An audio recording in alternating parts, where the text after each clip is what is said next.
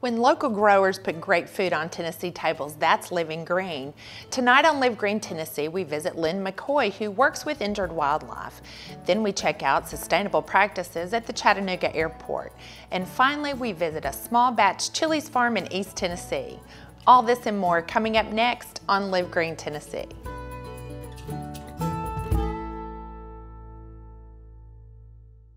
This program is brought to you in part by Behind every Pick Tennessee Products logo is a Tennessee farmer who brings you fresh, local food grown with the kind of pride that gets handed down through generations.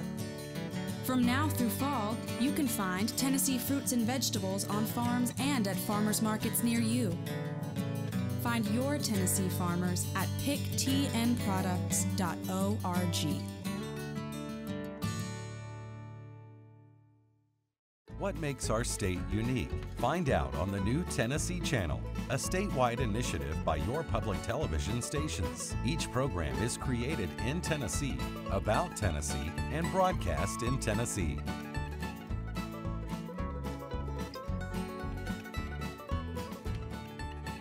The Tennessee Channel, Saturdays 6 to 10 p.m. Eastern and Sundays 2 to 6 p.m. Eastern, right here on your public television station. Funding for this program is provided in part by the United States Department of Agriculture, providing leadership on food, agriculture, natural resources, and related issues based on sound public policy and efficient management.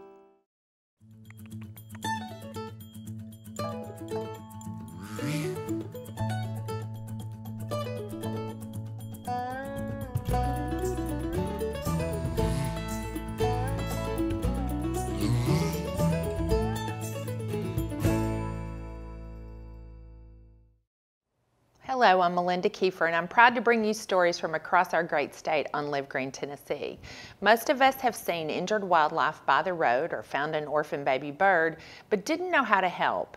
We meet Lynne McCoy, who does know how to help the animals that people bring to her Jefferson County home. When healed, most are released back to their habitat in forest and field, but a few can no longer survive on their own and become Lynne's educational ambassadors, going on the road with her to meet people of all ages who listen and learn.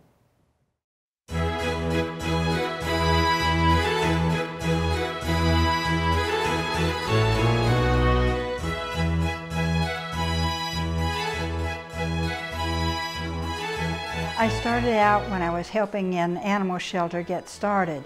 And then um, they called me one day and said that they had a bird down there, an owl, that they couldn't get to eat. And I asked them what they were feeding it, and they said bird seed. And I said, owls don't do bird seed, they're meat eaters. And they said, will you come get it and take care of it? And that's what started it. From then on, I got all of the wildlife calls and critters that came in came to my house for care. I'm officially a home-based independent wildlife rehabilitator. I've been doing this about 40 years. I'm permitted by both the state of Tennessee and the federal government, the feds because I work with migratory birds. Not very many vets are willing to work with wildlife. It's time consuming and there's a whole lot of knowledge there that they have concentrated on their dogs and cats and their normal patients. But I've been very lucky with Dr. Wayne Lilly, who um, I've known for about 20 years now. And so when I have something that needs special care, x-rays or surgery, they go up to Mountain Home. Without my volunteers, there's no way I could do everything that I do. Um, there are not enough hours in the day, there are not enough days in the year to be able to, to cover everything that's needed. And the volunteers will come in, uh, they'll clean cages, they'll feed for me, they run transportation.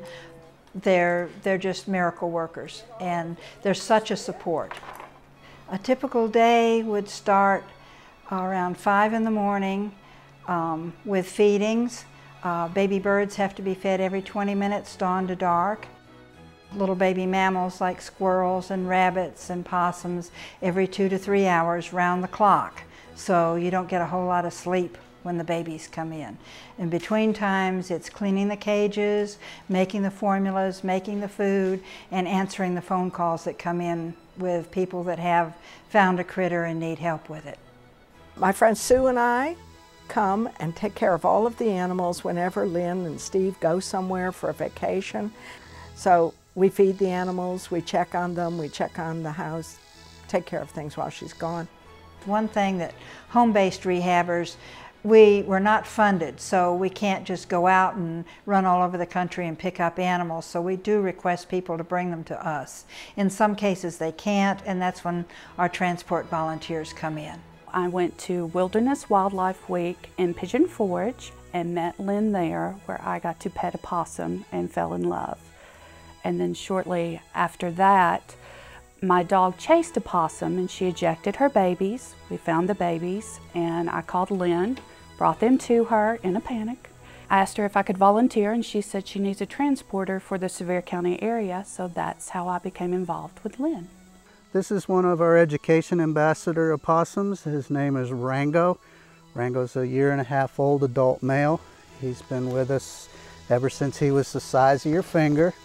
He was one of 13 babies that was rescued from the pouch of a mother that was killed by a car. And he's got some permanent hip damage, either as a result of the accident or from malnourishment being caught in the pouch of the opossum while it was waiting for somebody to be rescued. When I was growing up, I was told not to bother possums or touch possums because they were vicious and they would bite me and they carry rabies. So to be able to pet a possum really changed my world. With the wildlife ambassadors, the whole purpose, and we have to have a special permit for that too, from both the federal and the state in order to keep an animal as a wildlife ambassador. The wildlife ambassadors that I have are the opossums that you met, the red-tailed hawk, lady hawk, two screech owls, cinnamon and buzzsaw, a barred owl, not barn, but barred owl, uh, named Little Dude, and a broad-winged hawk who's a migratory bird. He was hit by a car uh, and can no longer migrate to Central and South America with the rest of them. And then I have my special friend, Pockets the groundhog. One of the reasons that we need outreach with kids and with grown-ups too for that matter is we need to keep that connection that we're all part of, for example, a large tapestry and we're all threads in it. And if we lose that, if we lose that connection, one thread comes loose and everything will unravel. I think one of the things that's important that Lynne shares is what to do when you see an animal that you know is a, a wild animal. That to go and get an adult and not take matters into your own hand. Not to be afraid of them, but not to touch them and to find a parent or an adult to help them with it. And this is a real special time too because most of them haven't had an opportunity before to touch the animals as they go by.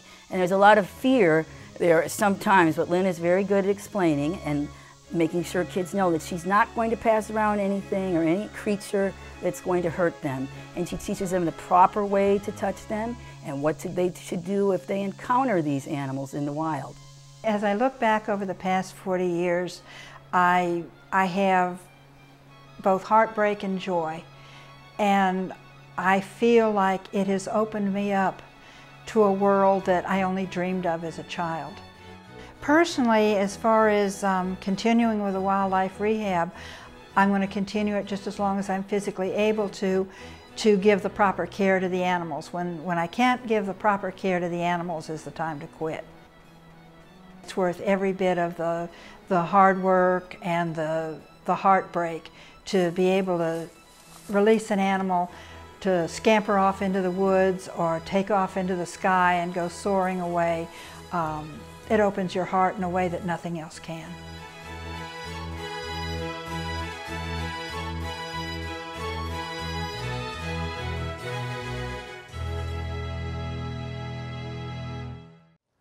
For Chattanooga residents who like to travel, the Chattanooga Airport is a less hectic alternative to larger airports.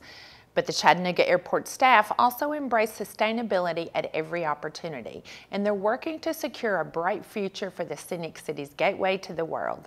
WTCI Sean Townley introduces us to Terry Hart, President and CEO of the Chattanooga Airport.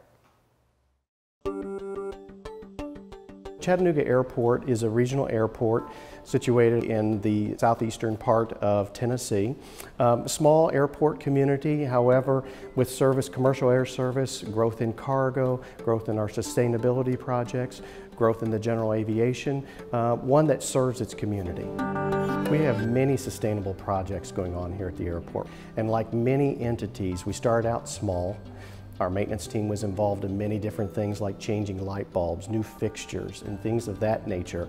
Went out onto the airfield. We were able to place LED lighting on all our taxiway lights out on the airfield. Um, we're not yet to the point where runway lighting has been accepted to be able to use LED lighting. We're still evaluating that, but all of our taxiway lights now are LED, so we're very excited about that. Here in Chattanooga, we have a lot of asphalt. And over time, of over years, uh, with everything, you have to take the asphalt up and put new down. Instead of doing that, we found a very green product that could go down on the asphalt and kind of revitalize that asphalt uh, to bring the binding factors back. So that it was important that we just did not have to pull the asphalt up and haul it out to a landfill. We were very proud of the facility that we're in here now Wilson Air Center. It was built to LEED standards. As a matter of fact, the terminal received LEED Platinum status, and it is still the only aviation terminal in the world to have platinum status. We're very pleased with that. We, when you look at everything in the building here, uh, obviously from the bamboo ceilings, the very renewable product, um, to the floors, the, the content of the carpet being recycled that, was, that came in to make the carpet, the furniture, um, everything that is in this facility was all, let's say, local or regional, so you don't have to bring it from long distances. It's very important to do that attaining LEED certification. So all those different type of pieces go into creating LEED. If you look at next door, we had our first phase was a 12,000 square foot hangar and we received LEED gold on that building, which is very unique. If you look at a hangar, you think of a hangar as a metal box with airplanes in it. It's much more than that. If you look at that, just the front, a glass front, it brings in natural light. The type of lighting system that's in the building, it's quite unique. Uh, the type of heating system that's in the building, all of those are energy efficient type uh, fixtures. So we're very pleased that not just in a terminal building, but also in a hangar that we can also build to LEED standards. It's important to us, obviously, to be a good, good tenant in the community. And with that, one project that we did many years ago was to be able to create infrastructure to move stormwater from one side of the airport through the airport to the other side. It was very important that we do that and we do a lot of good work with that. The additional project that was underway was we had purchased some uh, property along Brainerd Road with the intent of demolition of the buildings as well as creating a grass site. When we found out what the city was doing with the project of trying to um, revitalize the Brainerd area, we wanted to partner with them. So we did, and with such, instead of just tearing down the buildings, we've kind of regraded the land. We're going to put native plants in to create a space that will help the city in the movement of stormwater away from that area.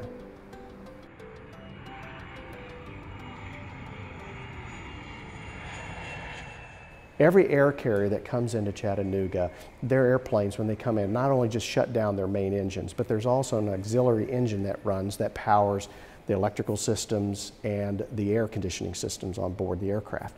So in a means to help the air carriers, we went forward and created a remote means of doing that, where we have ground power units and preconditioned air units hanging from the jet bridges. And with that, when an aircraft comes in, they can shut all their engines down, hook up to a remote and be able to power the aircraft and produce power and air to the aircraft.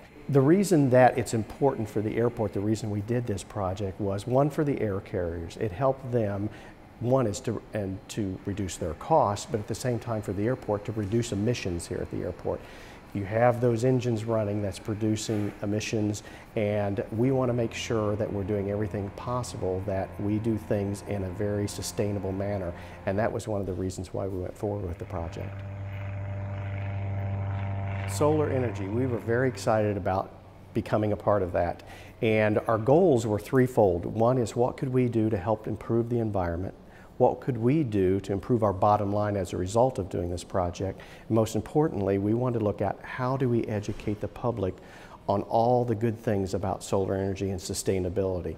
So our first our first phase was a one megawatt solar farm on the south side of our airfield. Uh, that has been in place for approximately two years now, up and running, uh, well ahead of what our projections was. We were very pleased with that. As a result, we moved forward with phase two, which was the second phase of a second megawatt. So we now have two megawatts of power being produced. Again, well ahead of projections. We're very pleased with that. And the important part about that too, education. We also have means of uh, educating the public on the importance of sustainability. We have a kiosk in the commercial terminal that really depicts what is all about solar, how's the farm responding, how does it produce.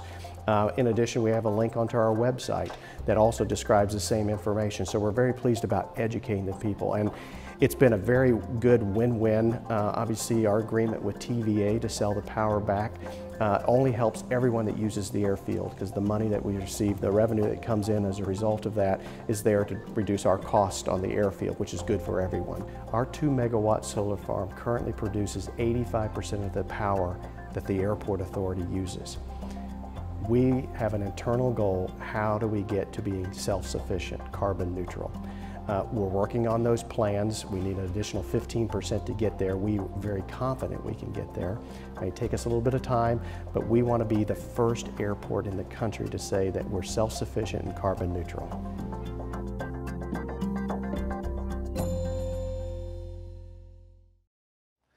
Jim Smith started out on a farm in Tennessee, and that is exactly where he ended up decades later. Jim's passion is Rushy Springs Farm, and this Talbott operation produces some of the finest chilies in the Southeast.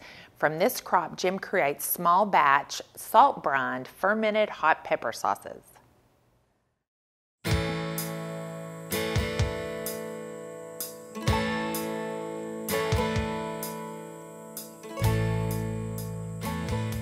Everything in my life's been a transition. There's never, the, the only official retirement I've had is that when I came back to Tennessee from New Mexico in 2003, I worked as a, a consumer safety officer for the USDA inspecting chickens. And I, so I technically retired after six and a half years with the USDA. I started out my life in South Pittsburg, Tennessee, living with my parents and grandparents. Um, so I've been gardening and farming since I could walk, really. My family's been involved in gardening and agriculture for generations, I guess, if not forever. My family moved to Roane County when I was nine years old, and a few years after that, my father bought a farm, which eventually became a grade A dairy. Because of, uh, of pressure of the system, um, I felt the, the necessity to go to college. I uh, was working with uh, Senator Al Gore Sr. Uh, there was a spot at the U U.S. Merchant Marine Academy that he would gladly give me if I was interested. Since I'd kind of had a dream to run away and travel the world on a tramp steamer all my life, that seemed to be pretty cool to me, and I took it. I left sailing and uh, uh, started working on a career in New York uh, as a photographic fine artist and uh, investigative and photographic journalist, uh, which I uh, continued for about 25 years. Um, all the while being involved in gardening as much as possible. I think that it was a more severe psychological blow to me leaving the farm than I realized until I was in my 40s or 50s. When I came back to Tennessee from New Mexico, I had in mind the goal of starting this farm. I made the big jump at that point into doing full-time agriculture uh, as my primary income. Primarily at this time, I grow mostly chilies. Um, If I had my way, I would be as diversified as absolutely possible.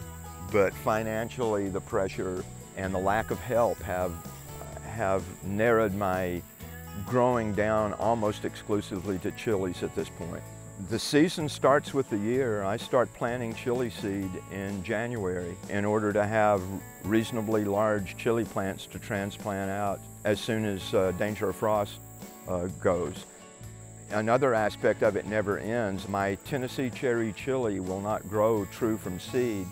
All of the plants that I have are clones and I have them um, in hoop houses so that I can protect them uh, from the environment during the winter and keep them growing. I have uh, one bed that's three years old, one bed that's two years old, and two plants that are six years old. So it's, it's really a year-round process. It, it just never ends. That, that's my motto, in fact, it never ends. I generally grow between 20 and 30 varieties of chilies.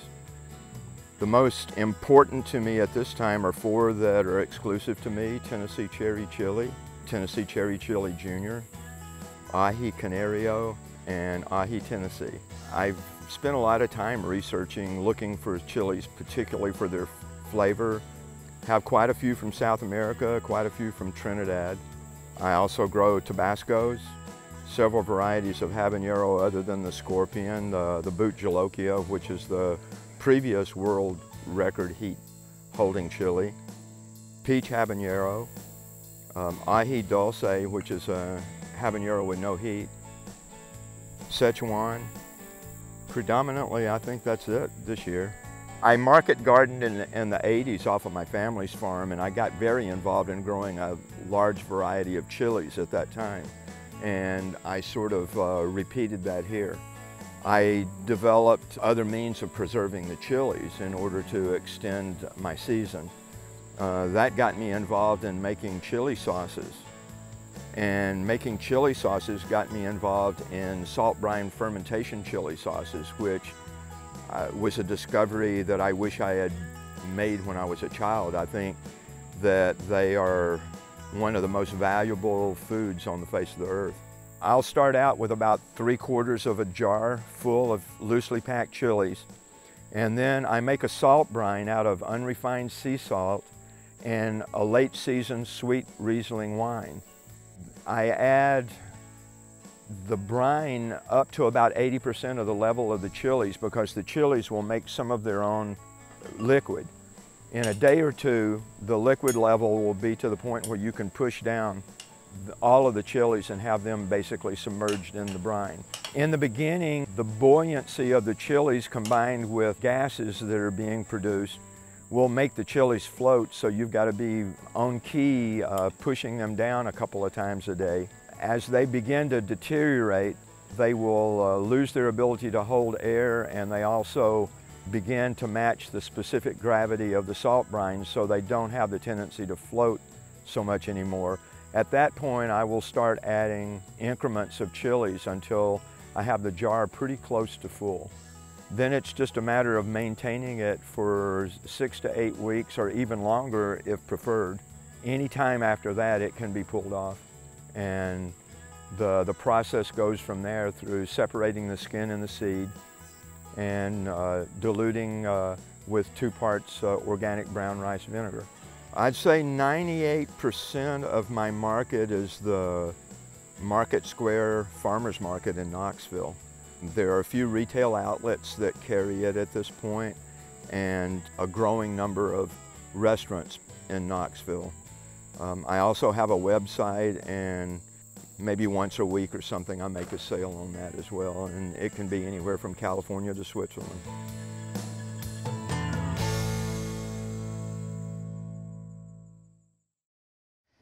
Thanks for joining us for another episode of Live Green Tennessee, where we take you all across the state into the farms and businesses of those who are making the move to eating fresh, living sustainably, and helping us all be more organic in our thinking and the way we live our lives as Tennesseans. Thank you for watching, and we'll see you next time on Live Green Tennessee. If you would like more information about Live Green Tennessee, please visit our website at livegreentv.org, where you can find everything from healthy recipes to past episodes and more. This program is brought to you in part by. Behind every Pick Tennessee Products logo is a Tennessee farmer who brings you fresh, local food grown with the kind of pride that gets handed down through generations. From now through fall, you can find Tennessee fruits and vegetables on farms and at farmers markets near you. Find your Tennessee farmers at picktnproducts.org. What makes our state unique? Find out on the new Tennessee Channel, a statewide initiative by your public television stations. Each program is created in Tennessee, about Tennessee, and broadcast in Tennessee.